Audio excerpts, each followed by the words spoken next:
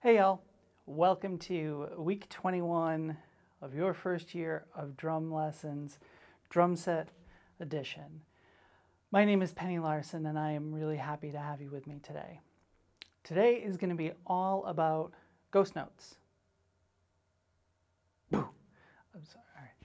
That's the one. I, I, I won't say boo anymore. Well, I will try not to say boo anymore. Um, I am very silly with my sense of humor, and, and I love making jokes about ghost notes being scary. They are, in fact, not scary. Yay! Ghost notes are quiet notes. That's it. They are quiet notes that we play usually on the snare drum. You can have ghost notes on other voices too, but usually on the snare drum. We're going to talk about ghost notes on the snare drum today. And what they do is fill out a groove, okay? They make it so this nice, simple pattern sounds a little bit more three-dimensional. There are definitely times when you don't want to do ghost notes. There are times where you want the clean, powerful, simple information of a bass drum hit and a snare drum hit and a bass drum hit and a snare drum hit and you just want that back and forth and you know maybe a couple more bass drum notes but you want a nice simple pattern and you want everything to be focused on that ghost notes are for those times where you want things to be a little bit more deep have, have some more density to the, the the groove quality right i use that term three-dimensional a lot of times drum grooves are pretty much loud. The bass drum is loud, the snare drum is loud, the hi-hat is loudish, right?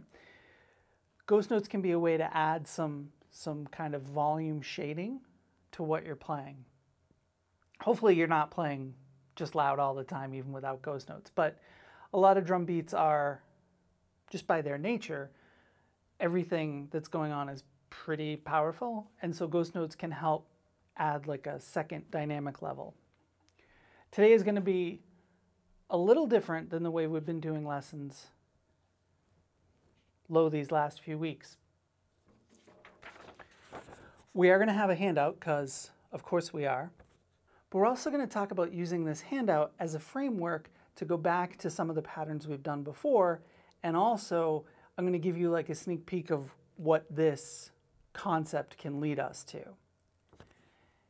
If you think you don't know what ghost notes are, the list of drummers that I could tell you to listen to is pretty much as long as the list of drummers. If you think you don't know what ghost notes are, I think you're mistaken. The drummer that first perked my ear to ghost notes was John Bonham, but I'm having a difficult time thinking of drummers who don't play ghost notes, okay? So they're all over the place. So let's jump into the exercises and see how see how that can um, that can get us into playing them. So I said that they were quiet notes on the snare. The first thing we're going to do is take our right hand and leave space for those quiet notes on the snare. So the handout will be available down below as a PDF like always. Number one, I'm going to play just our simple straight eighth rock beat, two and four on the snare, one and three on the kick. And I'm going to play the hi-hat and snare with just my right hand, okay?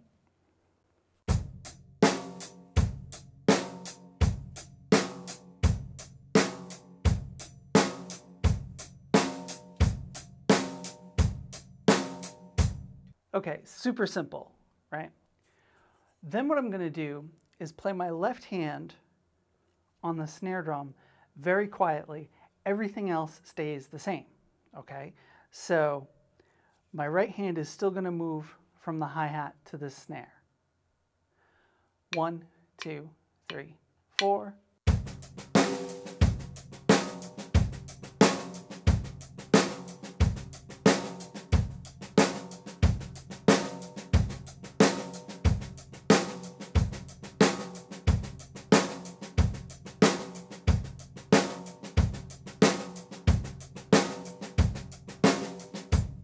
like always, this stuff you should play at different tempos. I'm not going to do too much of that today because today's lesson is more conceptual than chopsy, right? Most of this stuff probably you already know how to do. We're just talking about how to apply it. If you noticed, I was trying to keep my left hand as quiet as I possibly can without being silly and useless. I can play quieter than that, but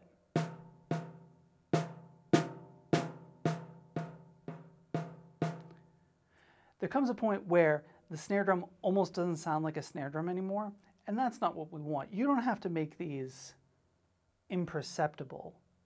You just want them to be pretty quiet. Okay? We write these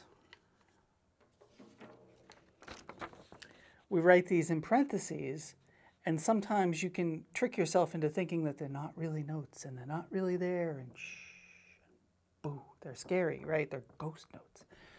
But they, they are most of the time to be, there's that old phrase, um, it should be felt and not heard. And to a certain extent, that's true. But if you can't hear them on the drum set, they won't even be felt in the music. Okay? So keep them quiet, definitely but don't be afraid to make it so you can at least hear them. Okay, so that was number two. Number three is an exercise that we did on Wednesday. Okay, it was just right, left, right, left together, left, right, left, right, left. And the thing I wanted to show you with that was we're going to do a quiet note with the left hand and then a loud and then a quiet. And getting the left hand up and down like that can be a bit of a challenge. So if you missed Wednesday's lesson, I encourage you to check that out. This is number three on our worksheet. And now my right hand is going to stay on the hi-hat and my left hand is going to play that extra note on two. So my right hand is going to go back to just playing eighth notes and then my left hand is going to play an extra note. Let's do this one at a couple different tempos so you can see how that works. Let's do it a little slow at first. One, two, three, and a, four, and a.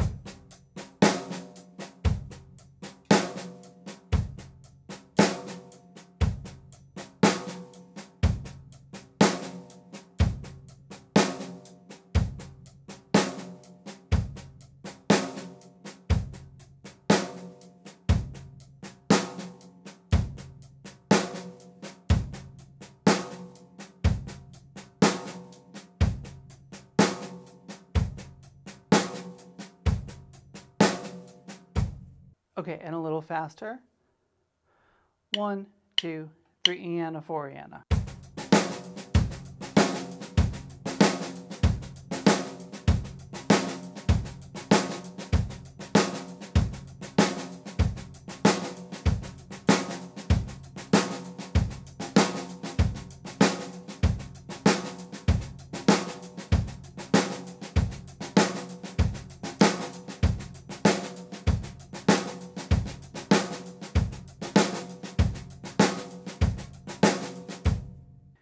see if we can't do it a little bit faster than that.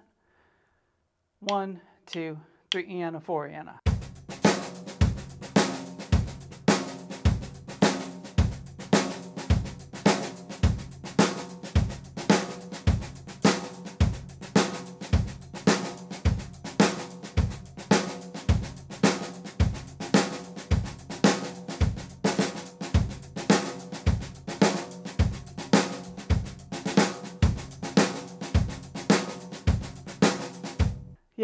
see, a couple times it got a little bit away from me, but that's basically the idea. We're trying to go from soft, loud, soft.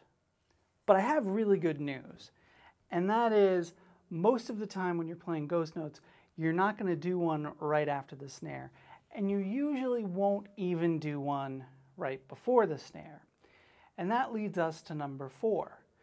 Number four has a ghost note on the E after one, the uh after two, and then the e after three, and the uh after four. So I'm leaving space surrounding the accent on the snare drum. This is for two reasons, honestly, that this usually happens. It's easier to play, so sure. So, like, as you're learning this stuff, this is probably a pattern you might have stumbled upon, right? But also, when the ghost notes are crammed up to the snare accent, instead of making the groove sound more rich and interesting and three dimensional, they can make it sound thick and muddy, right? And, and they can make the groove lose some clarity. And that's the last thing we're going for, right? We, no matter whether we're playing ghost notes or whatever we're playing, we want to we want to have some clarity in our playing. And you know, there's an exception to everything I tell you ever. So sure, sometimes you might want something to sound thick and muddy as long as you're doing that on purpose. If it sounds thick and muddy because that's the only thing you can do, that's a problem. But the whole point is if you can play with clarity, you should also then be able to control it enough to play thick and muddy, right? So I'm gonna I'm gonna preach playing with clarity in with the recognition that you can also play once you can play with clarity, playing with some thick and grit and sloppiness is a thing you can add. Okay? So let's try number four. Do this at a couple tempos, I guess, just so you can see. One, two, three, and a four, and a.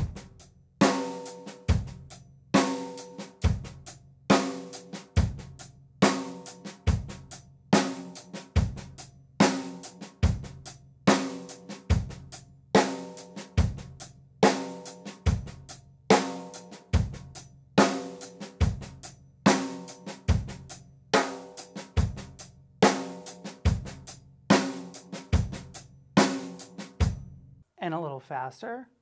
One, two, three, four.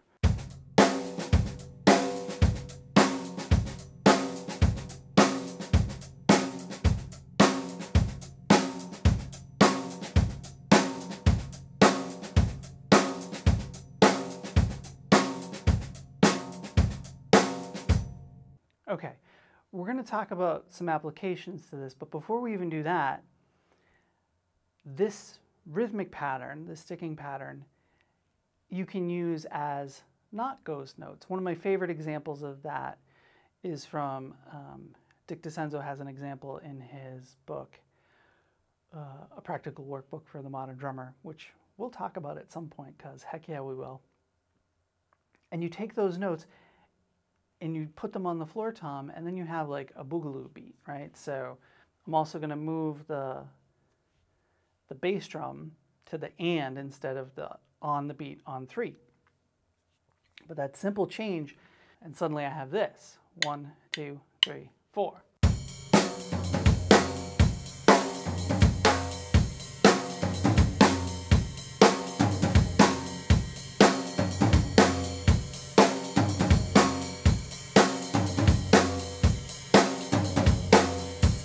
So even though we're playing these patterns as ghost notes, there are other ways for you to apply them, right?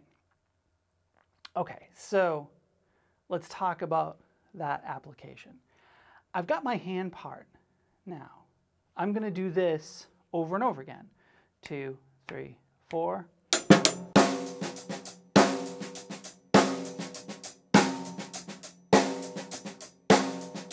Okay, and that's my ostinato. We're going to use if we haven't used the word ostinato before, that is just a short repeating phrase, usually a rhythmic pattern. Drummers talk about them a lot. There's a lot of ostinatos that we do in drum music. We could argue that just playing eighth notes on a hi-hat functions as an ostinato, but usually there has to be something else going on. Usually it's not just a series of repeating notes, but it's a pattern. And so our pattern is that right and left hand pattern that we were doing. And now what we're going to do, and I'm going to do this from memory or creativity if you want, because I'm not even guaranteeing to play any of the examples that we've done precisely like they were. But go back to your handouts that we've done and just play, take the bass drum patterns and play them along with this hand pattern. And I'll do a few for you. So what I'm going to do is I will just keep playing and I'm going to change up my bass drum pattern every four bars. And maybe I'll play like a simple fill just to, just to signal you that I'm making a change. Okay? But this is the type of thing you want to do. You want to take this hand pattern and then play different bass patterns with it. Okay? So one, two, three,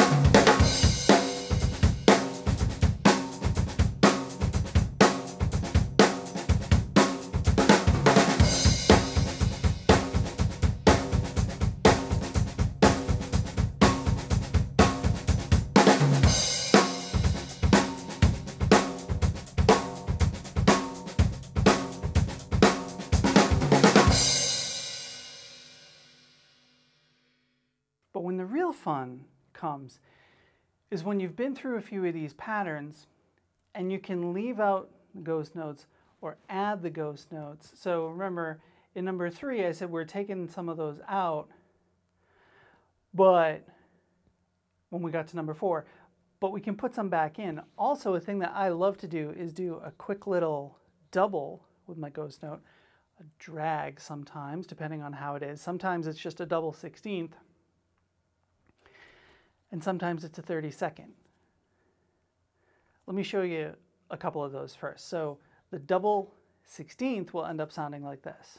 One, two, three, four.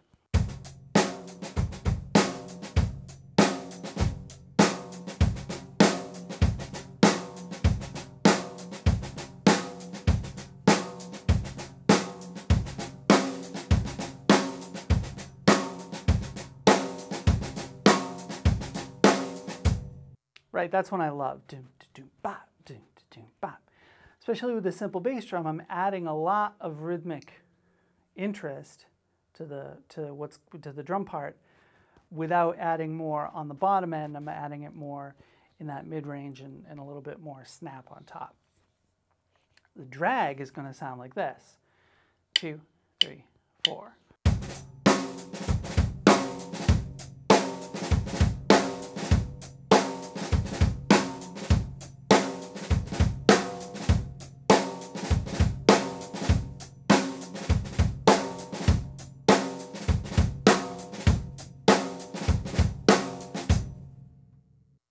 Now, I don't usually do this too much in these lessons, but we're kind of at a point now where this one page changes everything we've done up until now. And so what I'm going to do is just play a little bit freely and show you how I use ghost notes in this straight eighth kind of feel. We're going to talk about triplets and shuffles in a second. But for now, this is, the, this is a straight eighth kind of feel. I won't get too crazy but this is some of you know some songs that I've learned and some parts that I've written and stuff I like to play with ghost notes. And I'll start with the pattern we're doing here but then I'll take it out a little bit. One two three four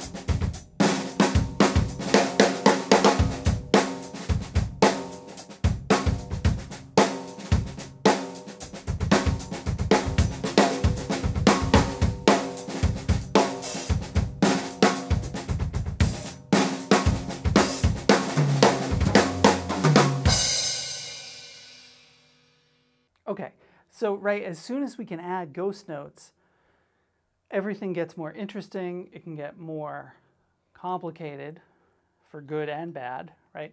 But there's a lot more, there's just a lot more choices. I'm going to do one more thing before we get on to the triplets. I'm going to go back and forth between playing ghost notes and no ghost notes. Remember how at the beginning I said sometimes you might want to play no ghost notes. So let's see what ghost notes do to a beat. And I'll try and do a couple patterns that then I'll add ghost notes to. Okay?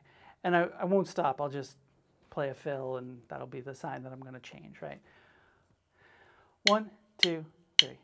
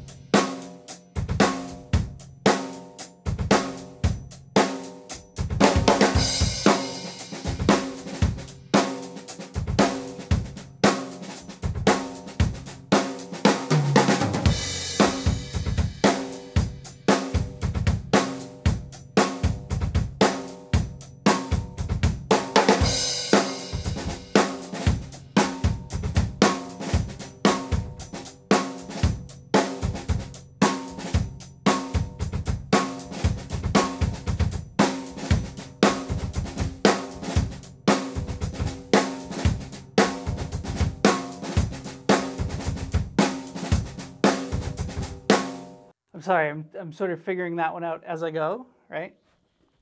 Um, the first two, I think, made real sense to me. That last one, if we weren't doing a lesson, I would probably take 10 or 15 minutes right now to figure that out. um, to figure out some, like I can feel it, you know, on the tip of my brain, but, um, but I think you get the idea, right? So how we go from how we go from a beat and we throw in ghost notes and you pick and choose, right? Not, not all the time will all the ghost notes that we learned, you'll want to put them in. You might put in one ghost note and a measure and that suddenly takes it from being, it's an okay groove to something magical, right? Don't feel like you need to put ghost notes in like crazy, you know, just because somebody did, right? Um, I'm not I'm not teasing about the part about sometimes you don't want to do any ghost notes. Right? John Bonham, who I mentioned earlier, who's the person that kind of introduced me to ghost notes as a, as a concept when I was when I was I was just a wee lass. Um, he, he has tons of songs where he plays no ghost notes, right? So it's not it's not it's not an all the time thing. This isn't like a oh, I will sprinkle this into my playing and suddenly my playing will be better. It's a, I have given you a new seasoning for your cooking, right? You wouldn't want to use sage in every recipe you make. That's Ghost Notes. Okay, so now let's talk about how they work with triplets. It's the same kind of idea, right? So back to our sheet. Number five is we're, we're going to start our triplets. And we're going to start with the same kind of idea. I'm going to play the whole thing with my right hand first, and then play the shuffle, and then play the shuffle with the ghost notes, and then a halftime shuffle. Okay, we'll talk about, there's a step I left out in here too, because um, I'm trusting you guys more and more to, to play stuff without me writing every last little thing down especially since it's we're kind of going to mimic one of the things earlier on. Okay, so remember we're in 12-8 because that's how we're going to feel triplets. 1, 2, 3, 4, 5, 6, 7, 8, 9, 10, 11, 12. 1 triplet, 2 triplet, 2 triplet, 4 triplet, 1 and a 2 and a 3 and a 4 and a 1, a 2, a 3, a 4, a 1, right? Okay, so number 5, we're back to just my right hand. 1, 2, 3, 4, 5, 6, 7, 8, 9, 10, 11, 12.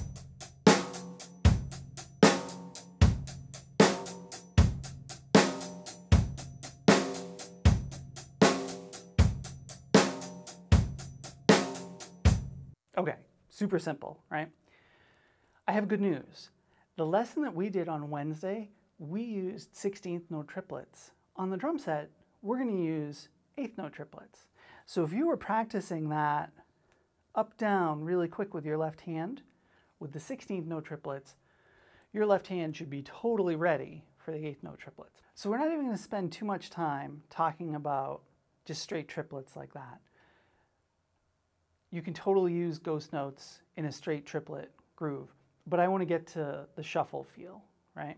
And so let's do the same thing. I'm going to play just my right hand. This isn't on the sheet, right? This would be one, two, three, four.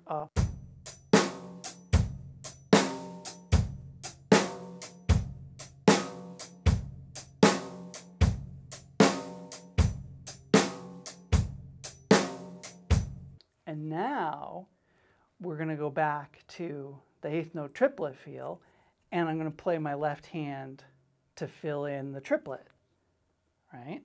So, so number seven, I'm going to have just one ghost note on the trip, the middle, the second partial of the triplet on beat one and beat three, and that sounds like this. One, two, uh, three, uh, four.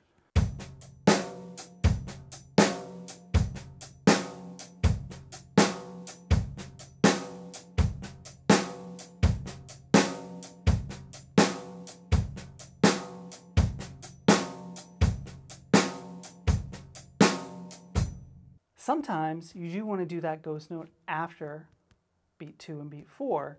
This one isn't written in, but this is going to be using that down, loud, soft thing that we worked on on Wednesday. Two, three, four.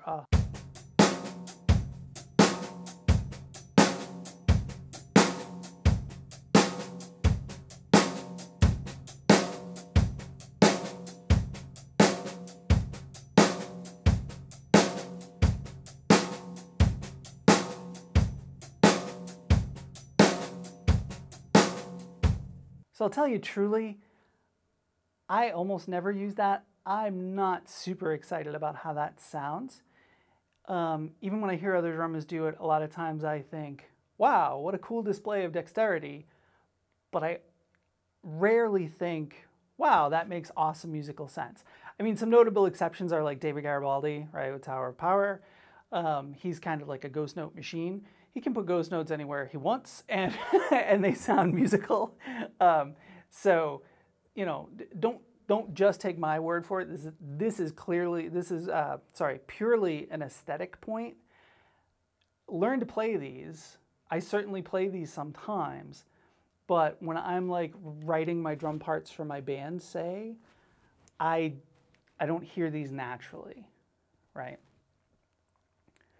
so lastly, number eight, we're going to use a halftime shuffle. Halftime is just when you take a groove and the tempo stays the same and your rhythmic subdivision stays the same, but you cut your bass drum and your snare drum in half.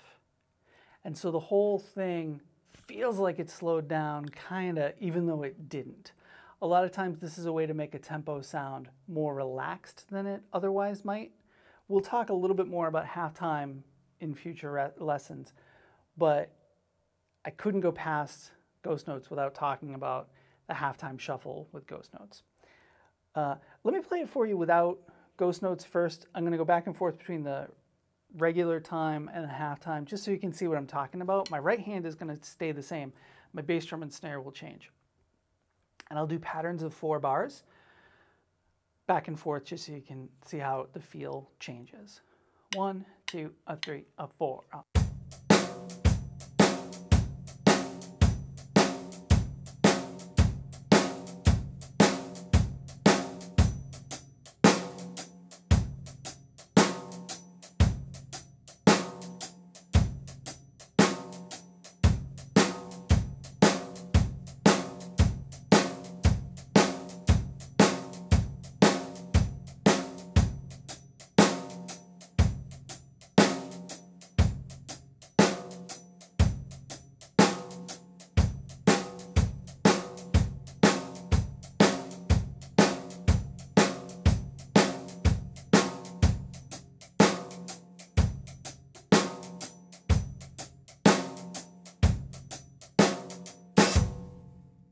Crazy, right? I mean, the, the way that you can affect the, totally the way the time feels just by spacing out your bass drum and snare drum is, is mind boggling to me.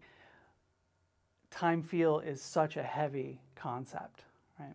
Okay, so now the ghost notes in typical halftime shuffle land are going to be the trip after one, the trip after two, and the trip after four. So like this. This is number eight. One, two, uh, three, uh, four.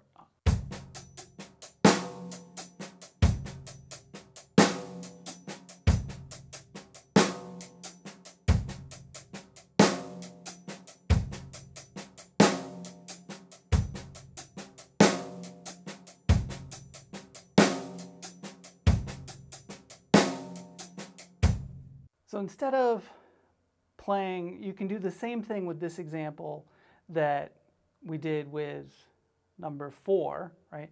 You can add your bass drum patterns that we've done before. Uh, eh, let me let me play you like one or two real quick. Um, one, two, a three, a four.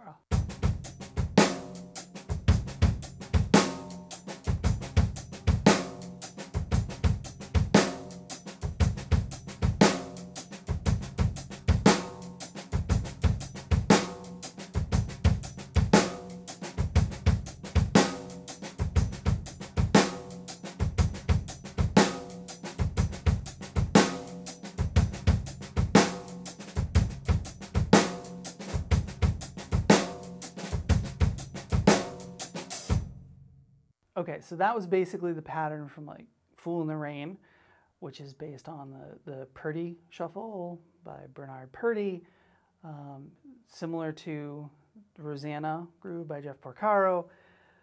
Um, there's some open hi-hat stuff going on in those beats that Sure, let me play. So this is Fool in the Rain. Um, if you don't know Fool in the Rain by Led Zeppelin, I mean, it seems like most of my viewership is pretty close to my age, so you all know Fool in the Rain, right? But let me, so all I'm gonna do is add a hi-hat, an open hi-hat to what I was just doing. And I get this, two, three, four.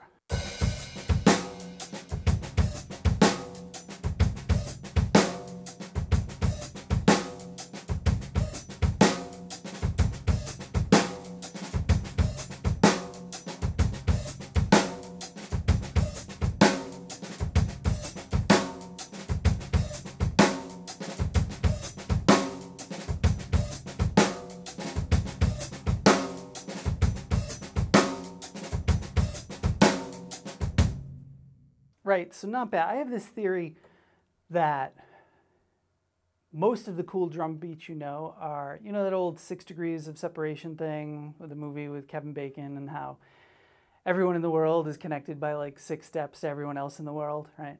Um, I don't know if that's true. It's a really interesting concept.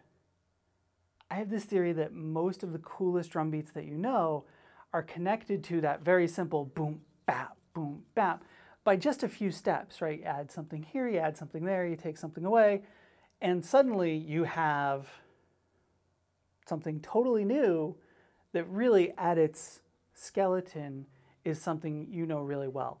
One of the reasons I've justified myself going into, you know, showing you Fool in the Rain in your first year of drum lessons is because all of these pieces build together to make these finished prod products, right? If you can play this page with the ghost notes, that one down the bottom, number eight, to get to Fool in the Rain, I'm adding three bass drum notes and one open hi-hat. That's it, right? So if you can play number eight, another few hours and you should be able to play Fool in the Rain. And, you know, it might be halting at first. You might, you know, it, it might feel really awkward at first, but okay, welcome to learning. That's how it's supposed to go, right? So, so one of the reasons I, I'm kind of pushing that first year envelope, right, is because this stuff is all connected, right? We're just adding, add this and add that and add that, and suddenly you're playing, you know, something really crazy. I want to show you two more things before we go because This is turning into a longer lesson than I anticipated. Two of my favorite grooves, and I want to show you how the ghost notes really make these beats shine. One is a tune by the Dixie Dregs called Divided We Stand, and it is it's a little bit different than the shuffle we've been playing. Rod is just playing triplets back and forth. And if you notice, right, we've talked about this before, triplets, I've got groups of three notes with two hands. So suddenly I've got one, two, three, one, two, three, one, two, three, one, two, three.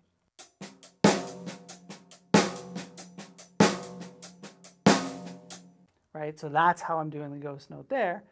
And I'm just gonna play my right foot with my right hand on the one and the three.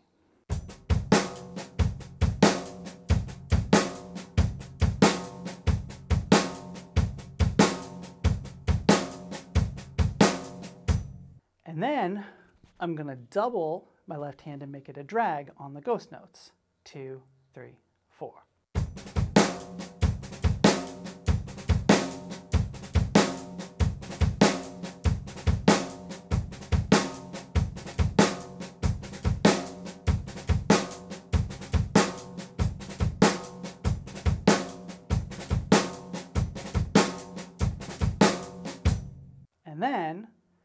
I'm going to throw in some extra stuff. This is going to be the groove as it is from Divided We Stand by the Dixie Dregs, drum beat by Rod Morgenstein, right? So, and also if you don't know Rod Morgenstein, check out Rod Morgenstein. Rod was sweet enough to let me, uh, I have his instructional video from the 80s on my, on my channel um, with his blessing, which is very sweet of him. Um, so check that out. It, it remains one of the best instructional videos I've ever seen. Um, it's a nice kind of sampler. It's called Putting It All Together, right? There's just tons of great information in like an hour, right? So this beat, I think he plays this beat on that video actually. So go and watch him play it better. But here's how, here's how I play it. Um, two, three, four.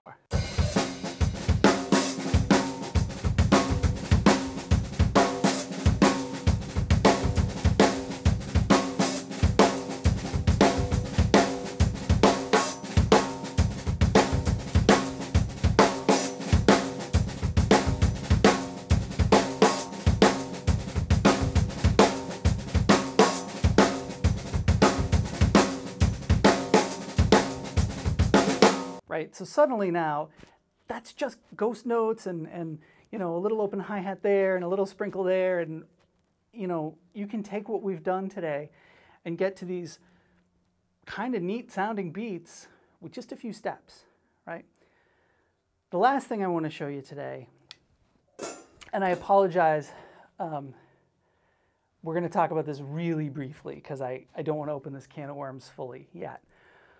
But the double bass shuffle, like Hot for Teacher, um, uh, Space Boogie by Jeff Beck, um, uh, Patchwork by the Dixie Dregs, Cruise Missile by the Steve Morse Band, right? I mean, there's a million examples of this of this groove. I'm, I play it right, right, left, right, left, right, left, right, left. So my left foot is playing on the beat and my right foot is playing the uhs, except for the first one. I start with my right foot, and then right, right, left, right, left, right, left, one, a two, a three, a four, a one. And the pattern I'm going to play with my right hand is ding, ding, da ding, ding, da ding, ding, da ding, like the jazz ride, which we haven't talked about yet, but you have to have heard the rhythm ding, ding, da ding, ding, da ding. And then I'm just going to play two and four on my snare drum. So without any ghost notes, it sounds like this. One, two, three, four.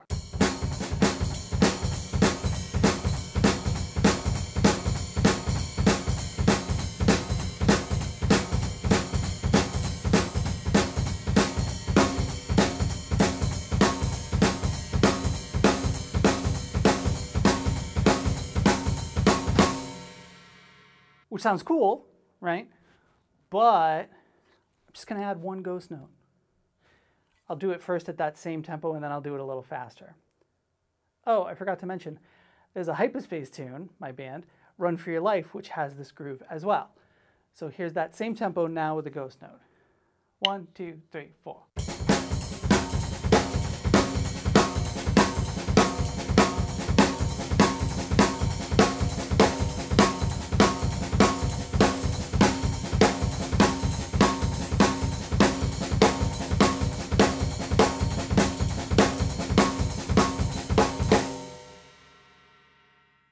I'm, now let me play that for you a little faster. I'll take the ghost note in and out while I'm playing it so you can see how it really affects how the groove feels. Uh, one, two, one, two.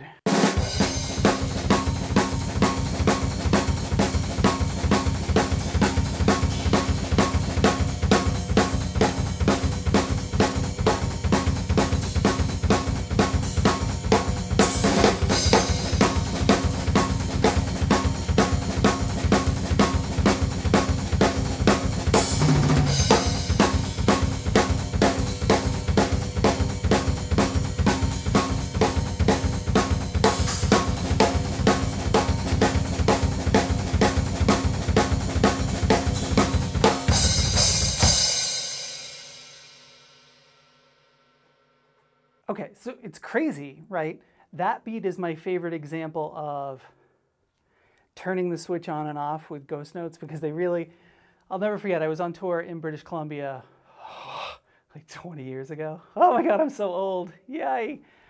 Um, and there was this band sharing the bill with us. And I don't even remember how it came up, but the bass player was talking to me about about this beat from this hyperspace tune, Run for Your Life. And, and I showed it to him, and he was like, I took out that ghost note, and he was like, like it sort of melted his brain. He, it didn't make sense to him that that was all I was doing. Adding the ghost note suddenly makes the double bass shuffle feel like, I don't know, like like a herd of something stampeding, a herd of drums, I guess, to be very corny. Um, okay, so that's going to wrap us up for today.